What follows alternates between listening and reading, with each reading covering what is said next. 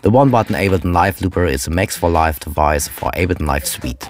It provides an easy solution for recording audio or MIDI into clips to their own individual length. You can set up as many loopers as you like and as it would make sense for your setup. You are able to record audio and MIDI to single layers and you are able to edit those single layers after your session. You will get a resizable pop-up window which will reflect the state of the current looper. You get the functions record, play, undo, stop and delete all clips. The length and the playing position of your first two layers can be shown via the device as well. Setting up an external MIDI controller to control the one-button live looper is quick and easy. You are even able to control the same functions via multiple MIDI controllers.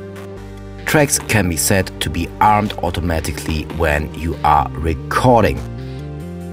You can customize and add more functions via more Max for Live devices, for example adding a fixed clip length or setting up an auto quantization.